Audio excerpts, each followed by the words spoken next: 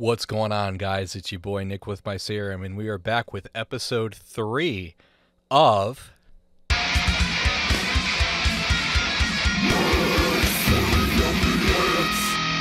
Local Music Showcase. So, on today's episode, we are going to be listening to The Dilemma and their song Fix You Up. I will say that I've had the pleasure of seeing these guys live and actually having a couple conversations with their vocalist Corey and my buddy Zach, the drummer for OK and the Night Crew, actually did, if I remember correctly, I could be wrong, but I'm 99% sure, did the production for this uh, official music video of theirs for their song "Fix You Up." So, without further ado, let's uh, let's hop into this in three, two, one.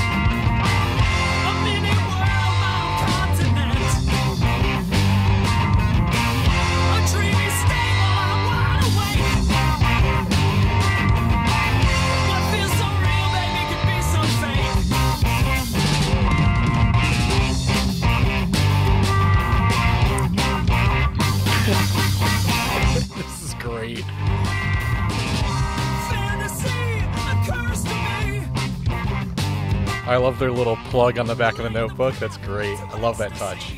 It's a good touch.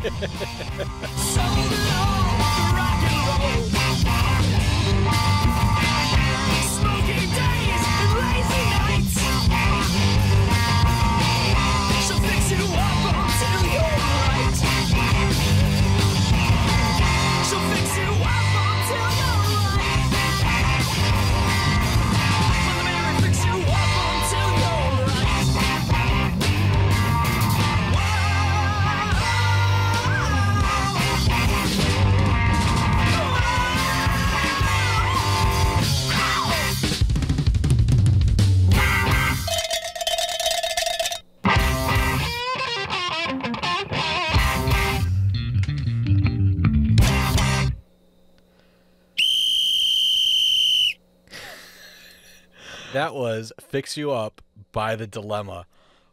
Wow, that was fun. That was a lot of fun. That was a very fun song. I really enjoyed that. Into the production quality of it. Just like uh, a bunch of the previous bands that I've talked about, heard every instrument nice and clear. Um, I I loved the style. I, I I love their style. It's very you know, kind of. I guess the best way to say it, it's silly, it's goofy, it's fun. It's uh, got a lot of uh, almost avant-garde elements to it. I really enjoy that. It's different, it's unique, and that's something that I said in the previous video of Frantic Endeavor. That's something that the music industry is kind of lacking right now, and I think that they could really benefit from having bands like this a little bit more, you know, mainstream or at least out there in the world. So I respect them a lot for the uniqueness, their musician, mus- eh, for their musicianship to have all those kind of quirky and again almost avant-garde elements to really mesh. Bass sounded good, odd guitar tones, really odd, not bad, just different. And uh, I think it really worked with the um, with the overall feel that they were going for. The vocals were just they were awesome, man.